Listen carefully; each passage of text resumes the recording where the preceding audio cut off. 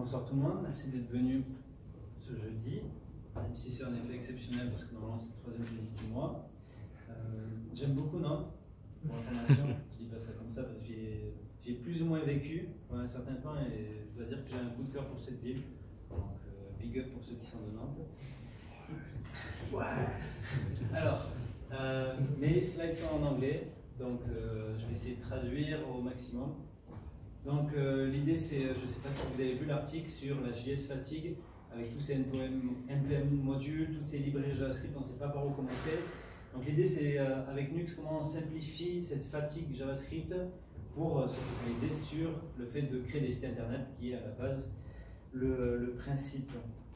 Donc euh, je suis Sébastien Chopin, euh, l'entreprise pour laquelle je travaille c'est Orion, c'est notre entreprise, on vient la renommer à Nux.js.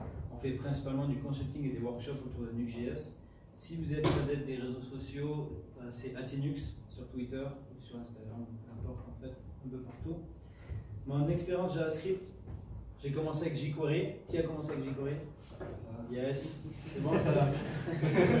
Qui a commencé avec le site du zéro? Ah, moi, c'est pas mal. Ah. Euh, ensuite, j'ai fait du Node.js, donc ça, c'est à partir de 2011. J'ai- J'avais un blog atinux.fr où j'expliquais euh, comment utiliser Node.js à l'époque. On était en 0.4, maintenant on est en version quasiment 12. Donc euh, ça fait un bon paquet de temps. La France a, ad- a adapté Node.js euh, depuis un petit moment. J'ai fait du Backbone.js beaucoup. Euh, je n'étais pas au courant qu'il y avait AngularJS qui était sorti. J'étais resté dans Backbone.js. Et j'avais essayé de faire du server-side rendering avec PhantomJS. Donc qui connaît PhantomJS parmi vous Quasiment tout le monde, c'est bien. Donc vous pouvez imaginer que c'est une très mauvaise idée de faire du server-side rendering avec PhantomJS pour des questions de performance et du, au fait que Backbone.js n'a pas de virtual DOM. Mon frère m'a recommandé Vue.js il y a 4 ans maintenant, c'était en version 1, et quand la version 2 est sortie, j'ai décidé de refaire mon site e-commerce, qui est Malé Massage pour faire de la pub. Si vous avez besoin d'une table de massage, c'est là-dessus. Je pense que c'est pas votre cas. Et on a décidé de refaire le site internet avec euh, Vue.js et Vue Server Renderer pour avoir euh, une application universelle, donc euh, qui est rapide côté client quand on navigue, tout en bénéficiant du SEO. Et voilà pour mon expérience JavaScript au départ jusqu'à il y a 4 ans. Je vais passer directement à Nux.js. Mais d'abord, j'aimerais parler de la situation de Rich Harris. Qui connaît Rich Harris parmi vous? Ok, deux personnes. Rich Harris est le créateur de Reactive.js, Rollup et euh, Svelte.js, qui est un nouveau framework euh, vraiment impressionnant. Et il explique que les frameworks ne sont pas des outils pour organiser votre code, mais ce sont des outils pour organiser votre esprit. Et c'est un peu le but de Nux.js ici, qui est un framework basé au-dessus de Vue.js. Donc l'idée c'est d'aller euh, donner un outil simple, une structure de dossier où vous allez pouvoir directement savoir chaque fichier correspond à telle fonctionnalité. Je vous explique ça un peu après avec du live coding. Là on est sur la théorie. Donc qu'est-ce qu'il y a dans Nux.js En fait il y a tout simplement Vue 2 pour pouvoir faire le server-side rendering. Il y a Vue Router pour la navigation côté client et pouvoir aussi rendre la page côté serveur. Il y a Vue Meta pour gérer vos head elements. Je vous ai même pas posé la question, mais qui fait du Vue.js parmi vous Ok, quelques personnes. Donc ça être, euh, Bon, normalement, vous avez, besoin de savoir un peu Vue.js pour utiliser Nux.js, mais dans l'idée, c'est assez simple, c'est des components. Vous avez du HTML, du CSS et du JavaScript. Donc si vous connaissez les trois, ça devrait aller. Vu qu'on a un nom de JS, ça devrait aller. Euh, Vuex, qui est entre parenthèses, donc pour ceux qui connaissent Redux, ou ceux qui connaissent Vuex, c'est bien, c'est pour avoir un state global pour toute votre application. Donc quand vous allez naviguer, si vous avez un utilisateur qui est connecté, vous allez le mettre dans cette variable globale, vous allez pouvoir accéder dans toutes vos pages. Il est entre parenthèses parce qu'il est optionnel, il se crée automatiquement quand on crée un dossier store, parce qu'il n'y a pas toutes les applications qui nécessitent Vuex. Et un component non SSR qui est là pour le client-side, c'est un peu spécifique. En bas, c'est les dev dependencies qu'il va y avoir pour Nuxt, donc Webpack 4, donc vous n'allez pas avoir à manager toute la configuration Webpack. On travaille déjà sur Webpack 5, Webpack 5 mais comme c'est pas encore prêt, on est encore sur Webpack 4 pour la production. Babel 7 et Post CSS 7, pour ceux qui ne connaissaient pas le logo de Post CSS, il ressemble à ça. Je ne le savais pas avant de, préparer ces slides. c'est honteux. Make it simple. Donc, file system routing, parce que, parce que PHP, quoi. Voilà. Pour ceux qui font du PHP, Qui a fait du PHP Je n'ai pas fait de PHP. PHP, vous créez des fichiers, index.php, about.php, vous avez directement les routes. L'idée, c'est de reprendre le même système de routes. Vous avez un dossier page, et dedans, vous allez créer vos fichiers, et ça va directement être mappé pour des routes. Comme ça, vous n'avez pas à gérer la configuration. Une euh, directory structure to follow, euh, c'est tout simplement des dossiers qu'on va recommander, un dossier components, un dossier page, comme ça vous n'avez pas besoin à réfléchir. Et si vous tombez sur un projet Nux, vous savez directement quel dossier fait quelle fonctionnalité. Et Nux Build pour bundler votre application en production, transpilation de la dernière syntaxe de d'ECMAScript à la syntaxe que IE9 peut comprendre et minifier le tout, GZP, comme ça c'est parfait, vous avez les meilleures performances. L'idée c'était vraiment ça, à la base Nux Build, qui permettait d'éviter d'avoir un dossier build dans votre application, dans votre, euh, et de gérer cette configuration Webpack, puisque au final, 98% des projets utilisent la même configuration Webpack quand on fait du Vue. Donc File System Routing, ça ressemble à ça.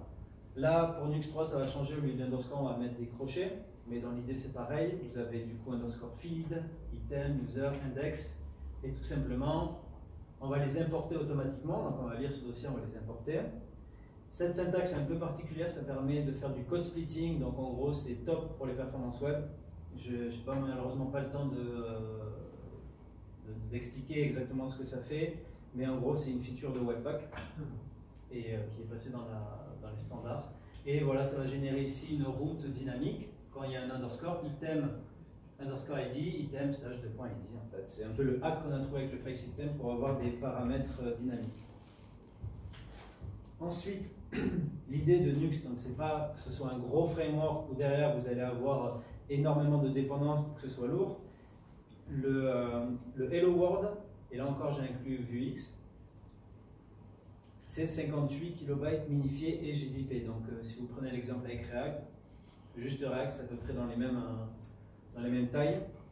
Les pages sont code splitées comme je vous l'ai montré juste avant. Donc quand l'utilisateur va arriver sur une page en particulier, il va y avoir le JavaScript de donc les dépendances Vue, Vuex qui vont être euh, mis dans un bundle séparé. Ensuite, vous allez avoir l'app Nuxt avec la logique en interne.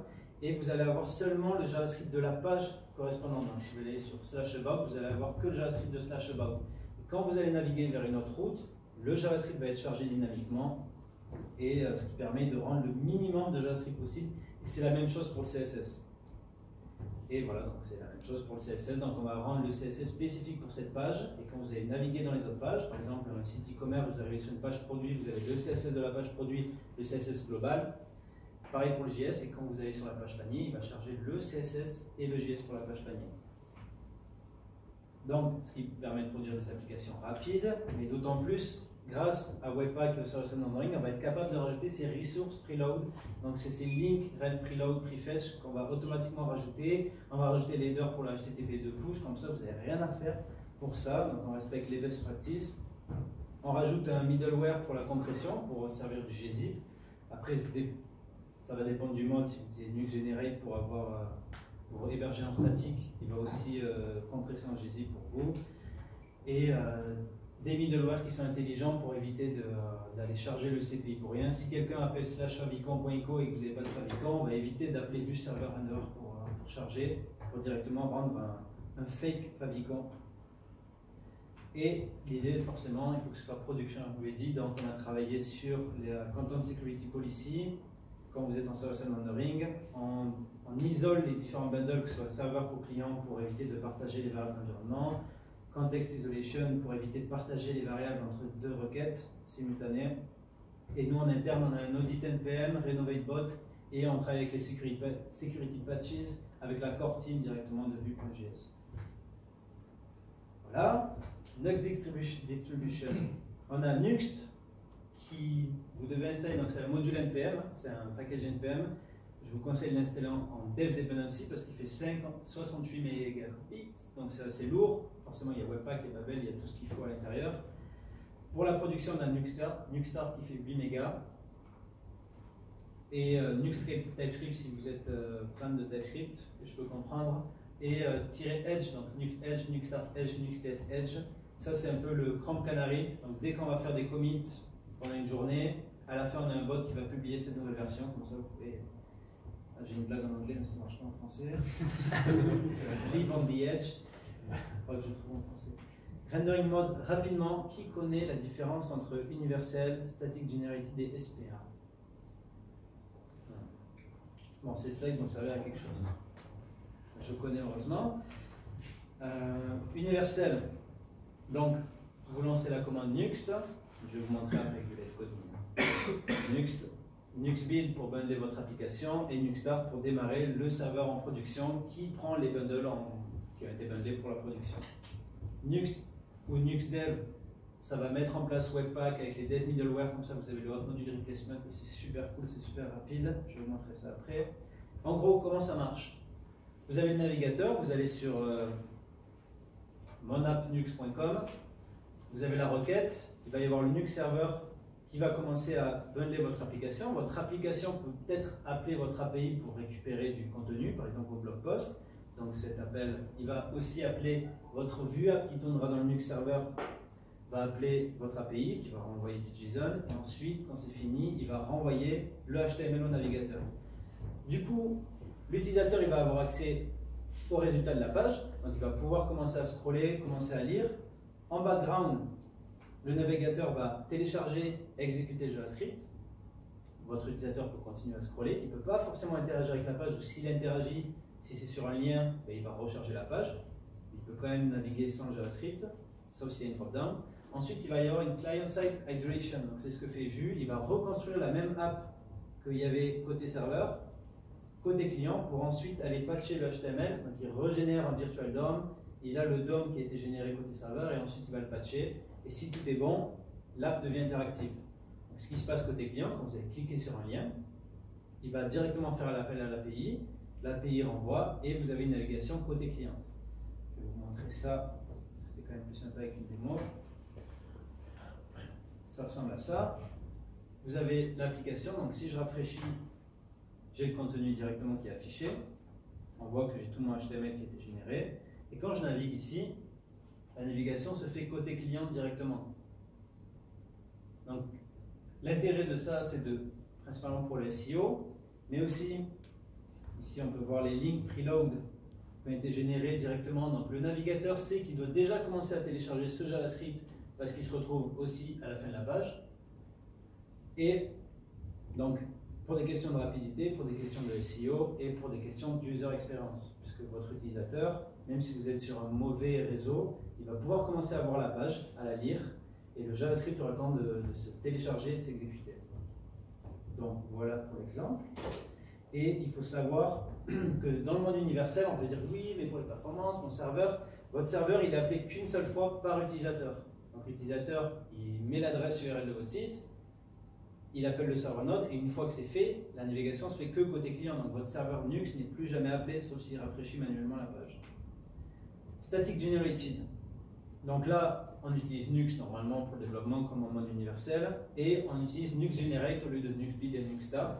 Et Nux Generate va faire le build, et ensuite il va avoir un crawler qui va appeler chaque URL que vous avez dans votre application et qui va générer le tout dans un dossier dist que vous allez pouvoir envoyer sur un CDN, que ce soit Amazon S3, Netlify, Surge, GitHub Page, ce que vous voulez, ce qui permet d'avoir le meilleur, on va dire, des deux mondes. Donc forcément, ça ne s'adapte pas sur tous les sites. Par exemple, un site e-commerce, vous n'allez peut-être pas forcément utiliser le Generate, mais pour un blog, pour euh, portfolio, c'est absolument fantastique. Alors, vous avez votre requête, là vous avez votre CDN. Le CDN renvoie l'HTML et JavaScript, et après c'est la même chose, mais vous n'avez plus de serveur Node à héberger. Donc l'inconvénient, en effet, c'est dès que vous allez modifier, donc là c'est la même chose, et là, nous, c'est l'exemple, on a marrant, la documentation qui est hébergée en statique. L'avantage de ça, c'est que euh, vous n'avez plus besoin de serveur, donc le CDN, il est partout dans le monde, au plus proche de votre utilisateur. L'inconvénient, c'est que dès que vous avez modifié du contenu avec votre CMS, il va falloir régénérer toutes les autres pages. Et voilà, tout dépend de votre utilisation, donc il y a ce mode-là. Et le troisième mode, alors ça, c'est principalement si vous avez un back-office à faire. Voilà. Donc, NuxXPA, c'est pour démarrer le, serveur avec juste le client-side only, donc une simple application euh, single page app, j'ai pas d'autre nom pour ça. NuxBuild SPA, c'est la même chose. Donc ça va générer un dist comme pour le generate, sauf que vous allez avoir qu'un index.html avec dedans juste le, les scripts, JavaScript, et un petit loader.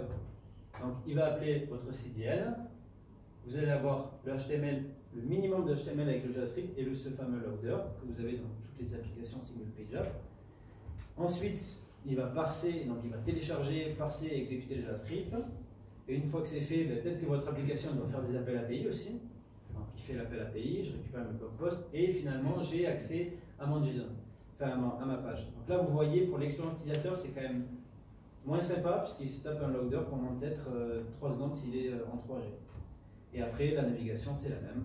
Il clique, appuie et c'est une navigation côté client. Donc j'ai la même démo que celle-ci. J'ai juste utilisé nuxbuild-spa, SPA, SPA, et j'ai envoyé ça sur Netlify. Donc si on regarde le code source de celui-là, on voit qu'on a toutes nos pages. Peu importe en fait sur quelle page on est. Hein. Si je vais sur celle-ci, j'ai aussi accès au HTML. Et là, si je regarde le code source de hn-spa, j'ai directement accès donc même si on a un SPA, on va quand même générer les, euh, les meta tags avec les preload parce qu'on connaît déjà le bundle, on est capable d'optimiser votre application et on renvoie les styles. Et voilà, après on renvoie le JavaScript. Donc euh, normalement, quand on est en 3G, on va avoir un petit loader pendant un petit moment. Et la différence entre ces deux apps, c'est juste tirer-SPA pour le build. Donc c'est aussi l'idée de Nuke, c'est de donner une structure à suivre qui marche pour les trois modes. Voilà. Live coding. Bon. Je dois prévenir que j'ai bu une bière avant, donc euh, je ne serai peut-être pas aussi efficace. Est-ce que vous avez des questions déjà avant Pas de questions, vous faites semblant que c'était super clair, merci. Alors, par contre, avoir besoin de. Ah ouais, peut-être en blanc, non? Ouais, Light. Ah, Solaris light. Comme ça. Est-ce que je vais zoomer quand même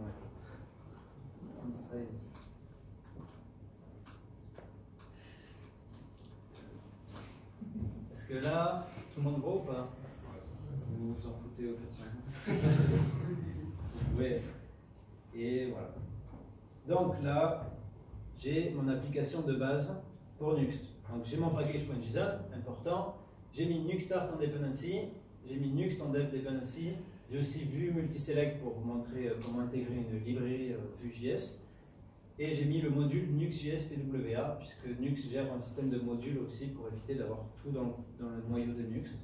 Et j'ai rajouté ces quatre commandes, dev et Nuxt, donc là c'est en mode universel, Nuxt build, Nuxt donc là j'utilise directement Nuxt qui est pareil que si j'avais mis un espace, hein, ça utilise le dernier package, et Nuxt generate. Voilà, c'est tout. Donc je vais démarrer avec yarn dev ou npm run dev. Donc là, il me dit que ça démarre sur localhost 3000. Normalement, j'ai ma page. Voilà, donc j'ai ma page qui est not found. Donc, je vais rajouter un dossier page ici, qui existe déjà. Je vais rajouter un fichier index.vue et je vais mettre ici bonjour Nantes.js vais sauvegarder. Donc là, forcément, il m'envoie une erreur en mode euh, je ne connais pas. Et j'ai ma page ici, bonjour. Et si je modifie, j'ai les changements en live. Vous pouvez voir en bas à droite, quand je fais une modification, il y a le petit loader là qui dit ah, c'est bon, ça a été fait. Euh, quelque chose que je voulais vous montrer aussi, mais j'ai pas eu le temps. Au lieu de regarder la console, quand on vous donne l'URL, on a travaillé sur un loader qui va vous dire que votre application est en train d'être bundlée côté client. C'est super fancy, mais voilà. J'étais fier de ça, je vais vous le montrer. c'est comme ça, ça vous évite de regarder la console. Donc l'idée, c'est que la console, elle peut dégager ailleurs et vous pouvez vous focaliser sur votre éditeur et votre navigateur comme en PHP en fait. Hein, parce que PHP a quand même un très bon setup. Alors, voilà. Voilà, merci. non, on va on va commencer tranquillement. Ici, j'ai une page index et j'aimerais bien pouvoir avoir une, sorte de navbar en haut où je vais pouvoir euh, lister mes, euh, mes, pages, enfin lister mes liens. Donc, Nuxt a une fonctionnalité qui s'appelle les layouts et par défaut, ben, il va prendre le layout défaut en fait. Donc ici, je vais mettre ma base et je vais mettre un UL. Ah ouais, j'ai pas les raccourcis, c'est très embêtant. Vous vous moquez pas Alors, pour naviguer entre mes pages, je vais utiliser le component NuxLink au lieu du component A. Vous vous doutez pourquoi? Pour pouvoir utiliser la navigation côté client. Donc là, j'ai ma page Home, ici. Je vais aussi avoir une page About. About, s'il te plaît. Non, je vais l'appeler Users pour lister mes users. Je vais aussi avoir une page Login, puisqu'on va faire vite fait un système de login. Et une page secret qui sera une page cachée où vous devriez être connecté pour pouvoir accéder à cette page. Donc là, je sauvegarde et j'ai ma liste ici d'utilisateurs, mais j'ai plus accès à ma page. Pour afficher ma page courante, je vais utiliser le component Nuxt ici. Oui, bah oui, je suis sur la page login. Voilà, donc là j'ai ma page. Est-ce que c'est clair? J'ai un layout avec ma liste de liens. Ensuite, je lui dis tu affiches ma page courante. Si j'en mets 4, ben, je vais avoir 4 fois ma page courante. Hein. L'idée, c'est d'en mettre qu'un. Voilà. Et là, c'est bon. Je vais rajouter du CSS parce que là, c'est vraiment pas terrible. Et euh, je n'aimerais pas qu'on me juge sur mon CSS. Donc, pour ceci, j'ai un nux.config.js. Je pouvais directement le mettre dans le layout, mais j'aime bien avoir mon CSS qui est global.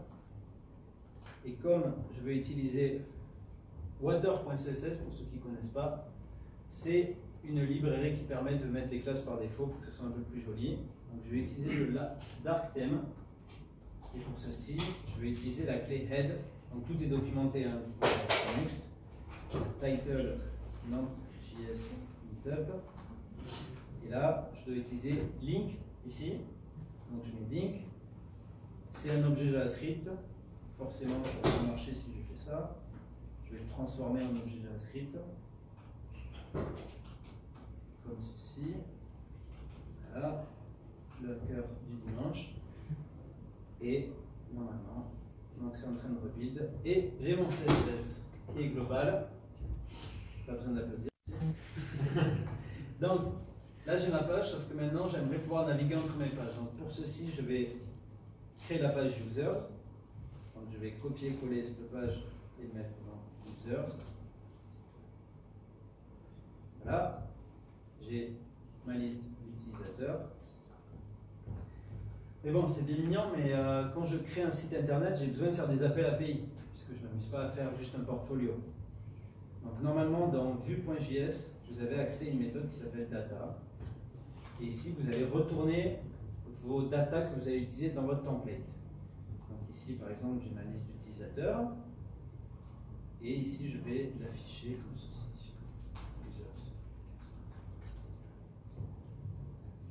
Là, j'ai ma liste d'utilisateurs. Sauf que là, j'aimerais bien pouvoir récupérer mon appel API qui vient d'ici.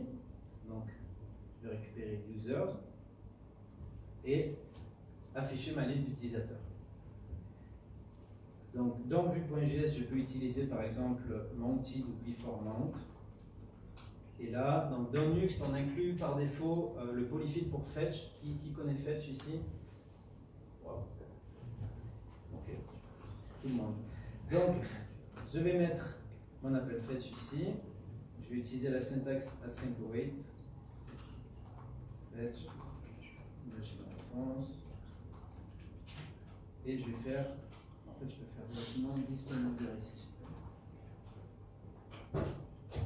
Donc, si tout va bien, voilà, j'ai mon listing d'utilisateurs.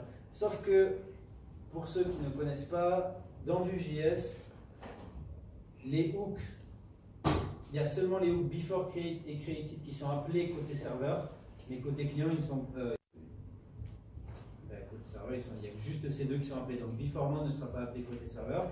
Donc si je regarde le code source de users, ici, j'ai. J'ai rien. Voilà, j'ai juste euh, users avec aucun user qui a été rempli. Donc pour ceci, on a créé, on a surchargé, on a créé une nouvelle méthode qui s'appelle async data qui va nous permettre en fait directement de récupérer notre liste d'utilisateurs, de le renvoyer comme ceci. Et quand je rafraîchis, j'ai ma liste d'utilisateurs qui a bien été rendue et vous venez de faire un appel qui fonctionne côté serveur et côté client. Parce que qu'est-ce qui va se passer quand je vais naviguer côté client? Je vais sur ma home page, je vais sur users et en fait c'est beaucoup trop rapide. Donc je vais rajouter, on va simuler qu'on a un mauvaise 3G et quand je vais sur users, en fait normalement il affiche une petite progress bar mais bon forcément vu que le fond est noir, Dès que la progress bar sera terminée, il switchera sur l'autre page. Il va attendre que Async Data soit terminée côté client avant de naviguer sur la prochaine page. Donc Async Data, c'est un peu la méthode magique quand vous utilisez Nux.js, parce que ça fonctionne côté serveur et côté client pour vos pages. Voilà pour Async Data. Je vais rester juste sur ça, je n'ai pas trop le temps. Je vais vous montrer comment utiliser un plugin. Est-ce que vous avez peut-être des questions? Tout le monde a compris. Ah, oui. Merci. une question. Il n'y a pas une histoire comme quoi Fetch ça marchait pas côté serveur Ça marchait pas, mais depuis la version 2.6 euh, de Nux, on a polyfill. Comme ça, ça fonctionne. déjà Ouais, on a polyfill Fetch côté serveur parce qu'ils font chier, non Non, mais c'est enregistré là Oui. bon, on va ici. Euh, est-ce qu'il y avait une autre question? Passing data, de toute façon, j'ai un peu coupé. Donc. Alors, euh, on va utiliser vue multiselect parce que voilà, c'est sympa d'avoir des super multiselect. Donc, ils nous disent d'installer vue multiselect ou via le CDN, non, je l'ai installé via NPM et ensuite ils nous montrent un basic usage. Donc, j'ai utilisé le component ici. Dans ma page index, ici, voilà, il me dit d'avoir des data pour avoir mes values Donc ici, forcément, VModel, là je vous recommande, d'utiliser la, documentation de vue. VModel, c'est pour aller binder un élément. Donc dès qu'il va taper sur l'input, ça va directement modifier la variable et vice versa. Et là, je lui donne des options. Donc ici, je vais donner vue, React, Angular, 1970 Svelte. Après, oui, il y en a d'autres. Et là, de toute façon, il va me dire bah, il va rien me dire en fait, là, euh, me sortir côté dans la console qui ne connaît pas l'élément multiselect. Donc il va falloir déclarer le component vue multiselect. Donc là il nous dit import vue multiselect et tu l'enregistres globalement comme ceci. Donc dans Nux.js, si vous voulez faire ça proprement, ce qu'on va faire, on va créer un dossier plugins. Dans ce dossier, on va créer un fichier vue-multiselect select.js. Je vais copier-coller Là, il faut aussi que j'importe vue. Là. Et je vais importer ce plugin. dans Nux 3, il s'importera automatiquement parce que ça m'embêtait de faire ça à chaque fois.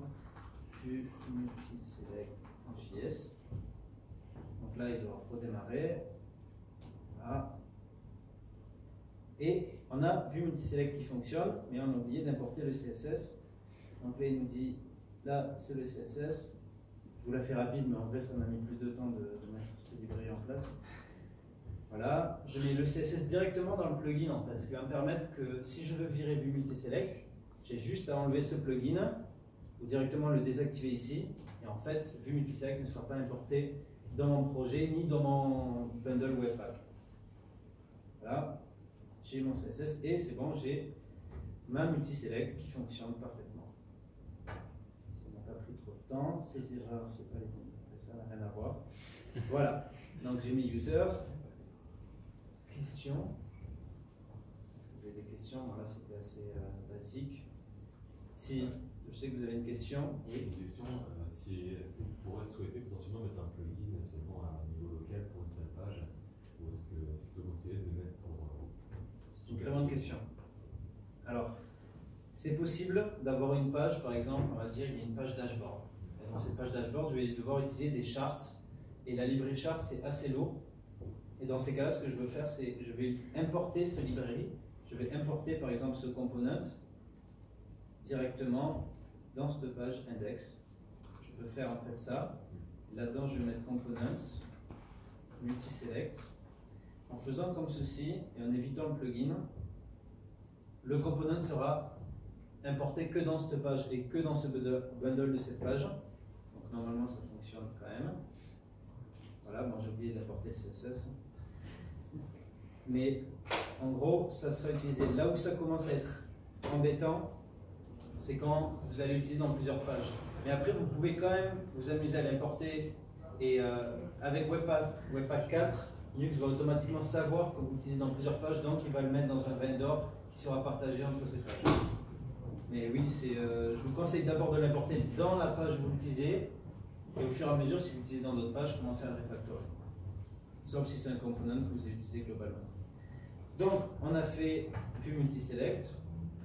J'aimerais bien, je vais rajouter juste vite fait ces pages un login, parce que sinon, donc, login en vue, login, et secret. Comme ça, on peut naviguer entre toutes nos pages. Secret, page. Voilà. Donc là, on peut naviguer. Là, c'est bon. Bienvenue. Alors, je crois que je suis perdu. Je vais voir un peu de faire semblant.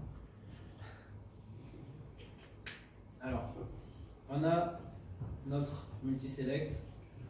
Là, je vais vous expliquer comment faire des transitions entre ces pages.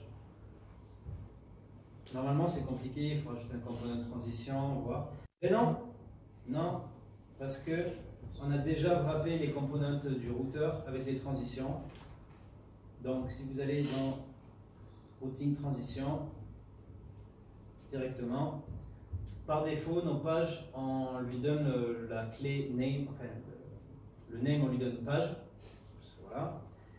On navigue entre des pages. Et en fait, si on rajoute ces classes CSS, Vue va automatiquement savoir que vous venez de euh, rajouter ces classes et va attendre pour naviguer. Donc ici, je vais mettre dans mon layout, parce que je n'ai pas de style global. Là. Puisque je ne change pas de layout entre mes pages. Et donc, Maintenant, quand je vais naviguer entre mes pages, eh ben, je vais avoir une transition. Voilà, pour les transitions entre les pages. Bien sûr, vous pouvez aller plus loin. Vous pouvez faire en sorte que les transitions soient différentes pour, certaines pages. Donc là, vous voir ma transition pour cette page, une autre transition. Bon, il y a, beaucoup d'exemples. Il y a Sarah Drasner qui a fait un excellent article sur CSS Tricks pour expliquer les différentes transitions dans Nuxt et euh, ce que vous pouvez faire avec les SVG, les animations JavaScript. Mais ce n'est pas le sujet de ce talk, malheureusement. Donc, on va aller sur notre page login ici. Et j'aimerais bien pouvoir faire une sorte de système d'authentification. Mais pour ceci, je vais avoir besoin d'utiliser euh, un store, un state qui va être global entre toutes mes pages. Donc pour ceci, je vais créer un dossier qui s'appelle store. dedans, je vais créer un fichier index.js. Et quand je vais voir la documentation, et je vais importer normalement map state de Vuex qui est un helper en fait que vous allez pouvoir utiliser dans vos computed. Et là, je crois que c'est quelque chose comme mapstate. Pourtant, je vous avoue de tête. Euh, alors, si je vais dans ma page login, oui, c'est bon, ça fonctionne. Donc maintenant que j'ai cette variable, au lieu d'utiliser $state.state.authenticated, en fait, ça fait juste un raccourci et ça vous donne la variable authenticated quand même beaucoup plus propre dans vos templates. Donc, VIF comme un Angular, si il est... Merde. On va faire comme ça. Si il est authentifié, on va lui proposer de se déconnecter. Sinon, on va lui dire de se connecter. Donc là, c'est bon, j'ai bien mon login. Et quand je vais cliquer sur mon login, je vais faire une mutation commit login ici qui va directement appeler ma mutation ici, qui va faire state.authenticated à true. Hein. Normalement, vous imaginez une action qui va faire appel à votre API. Hein. C'est euh, là, c'est. Je laisse imaginer, mais ça devrait aller. Faites pas ça. Donc là, si je clique, j'ai ma mutation login qui dit OK, c'est de type il euh, n'y a pas de payload, je n'ai pas donné d'argument.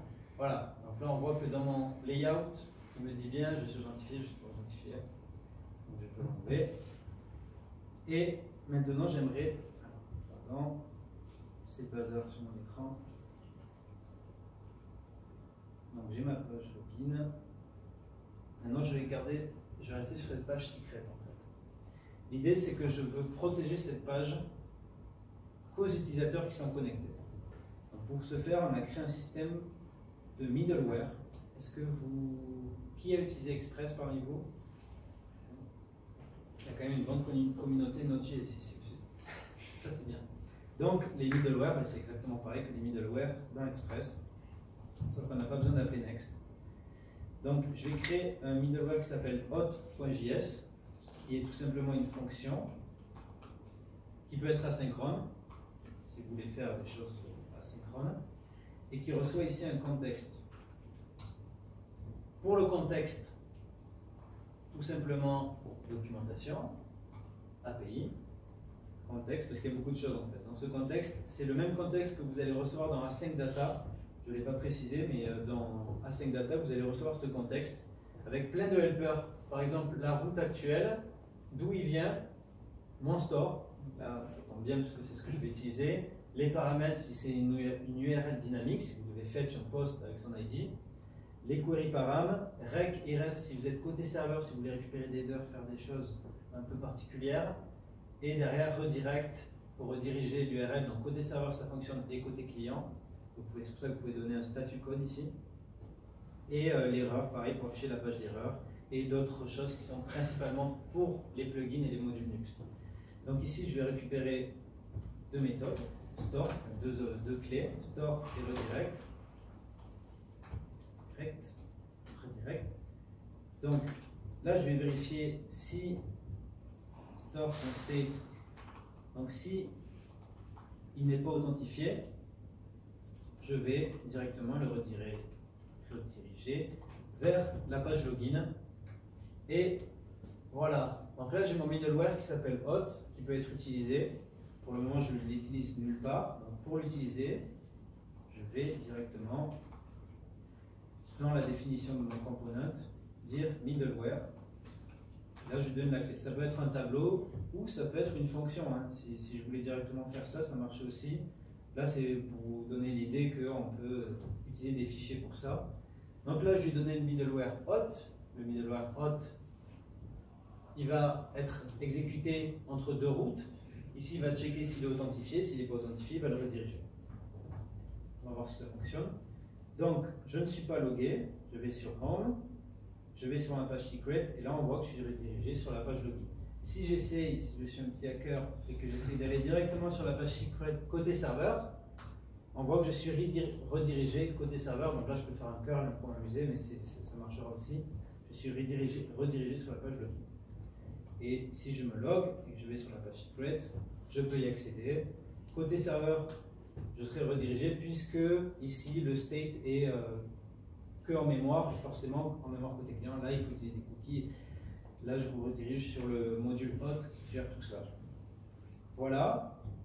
Maintenant, euh, c'est pas tout, mais bon, il va falloir déployer et c'est quand même la mode des progressive web apps. Donc, on va transformer tout ça en progressive web app. Donc, on a un module qui s'appelle euh, qui permet de gérer Workbox, le manifeste, les métatags pour le SEO et euh, les best practices, l'icône et one signal si vous voulez utiliser les push notifications. Donc on va faire le get started ensemble. Il y a add nux pwa. On voit que je vais ajouter dans mon package.json.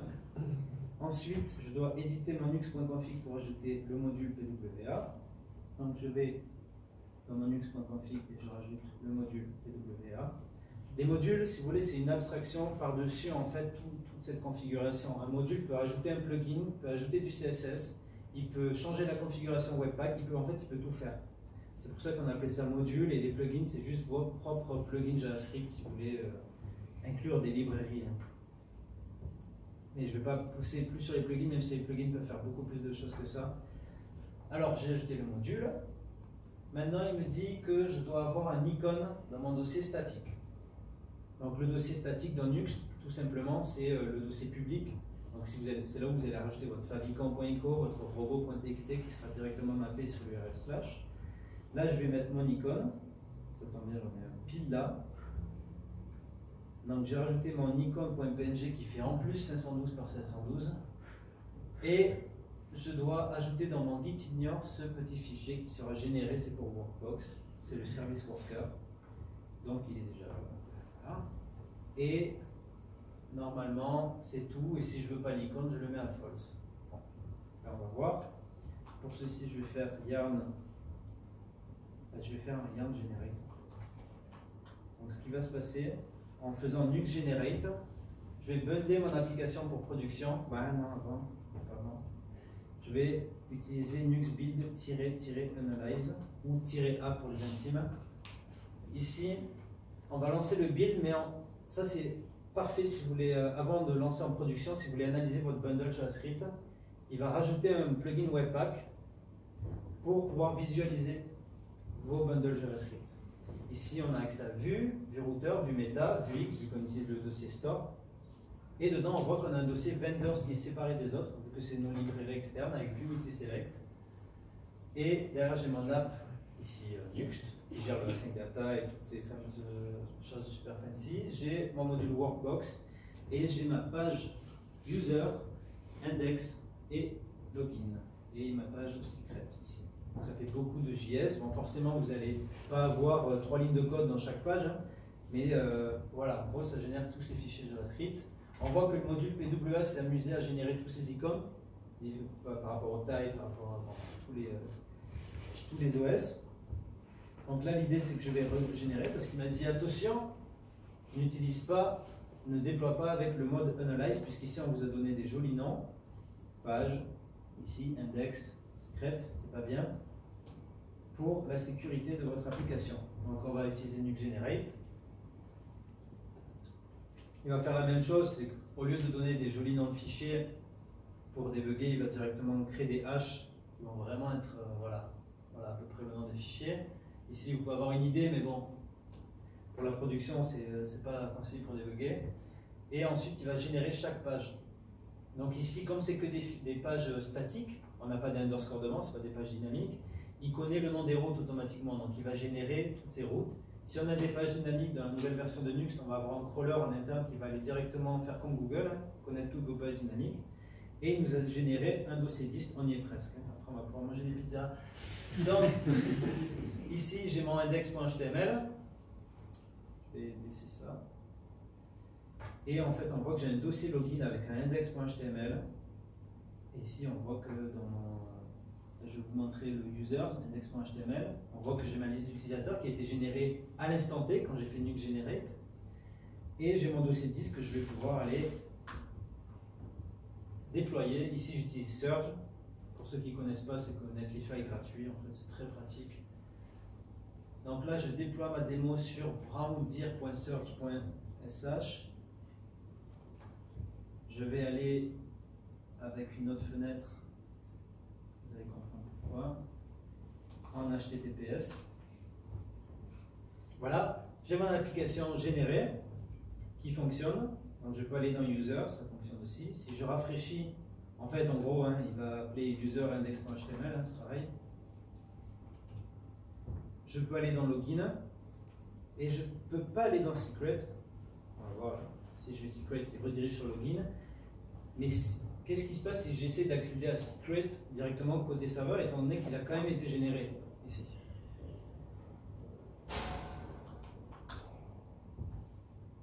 Et bien là, ce qui s'est passé, c'est que comme on a essayé de générer la page et on a vu que le middleware ne nous autorisait pas à générer cette page, on a tout simplement généré notre page comme une application SPA, donc sans le, le contenu à l'intérieur. Donc c'est quand même protégé même en generate.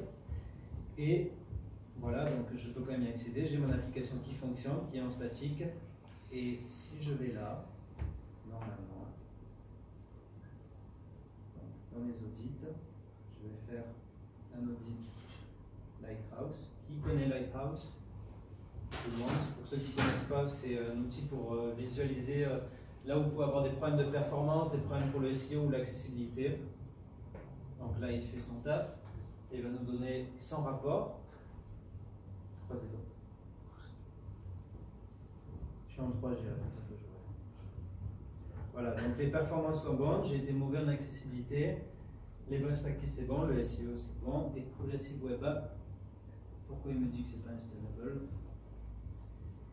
Et en gros, là il me parle du HTTP2, donc ça va dépendre de votre serveur. Forcément, en Generate, on ne peut pas supporter autant le HTTP2, puisqu'on n'a pas accès au serveur. Si vous utilisez Netlify, il va gérer le HTTP2 pour vous. Si vous utilisez Nuxstart, il va gérer le HTTP2 pour vous. Et là, forcément, il me dit écoute, euh, là, ton CDN que tu utilises, c'est pas bon dû mettre mon CSS direct interne. Mais en gros, on se retrouve avec une PWA qui a toutes les performances. L'accessibilité, c'est propre à votre CSS et à comment vous faites votre HTML. Et on a tout de bon. Par contre, j'aurais bien aimé pouvoir l'installer. Bah oui, mais bon, Je vais essayer juste comme ça. Non. Si.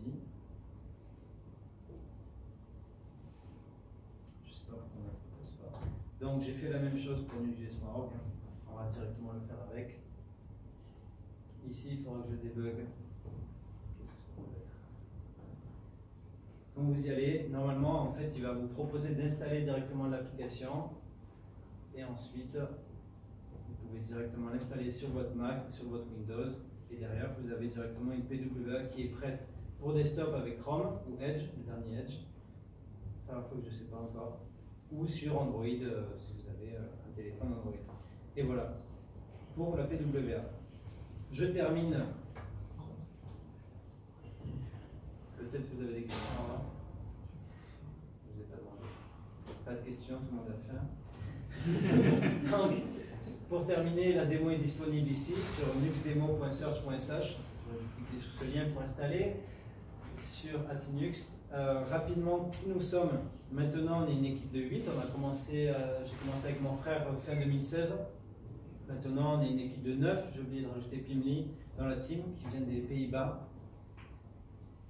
On est assez réactif sur GitHub, ça nous tient à cœur quand même de, gérer les issues et d'être à l'écoute des utilisateurs. Donc on a réussi à avoir 3% d'open issues. Et non, on ne s'amuse pas à les fermer comme ça euh, sans réponse. pour les pull requests, on est plutôt bon, je pense, je suppose, pour euh, les merges GPA. Après, on utilise beaucoup les pull requests en interne. Donc, dès qu'on veut modifier du code, y compris moi maintenant, je dois faire une pull request, faire en sorte que toute la team approve afin de pouvoir la merge. Donc, on a une, on commit pas mal. Et on fait un meeting toutes les semaines. Là, cette semaine, on n'a pas pu. Semaine prochaine, on le fait le jeudi. Et du coup, on s'appelle, on a notre petit planning et sur les roadmaps, y compris pour les releases, on essaie de faire une major tous les six mois, une minor tous les mois et euh, les patchs dès que possible. Donc on a eu une bonne adoption sur NPM. Euh, la conférence de JSConf EU, un des cofondateurs d'NPM, a dit que Nux est utilisé euh, par 5% des utilisateurs JavaScript.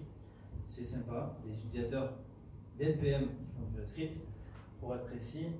Et on a maintenant des bonnes entreprises qui utilisent Adobe, qui utilisent Nuxt. Adobe, par exemple, va l'utiliser pour son shop.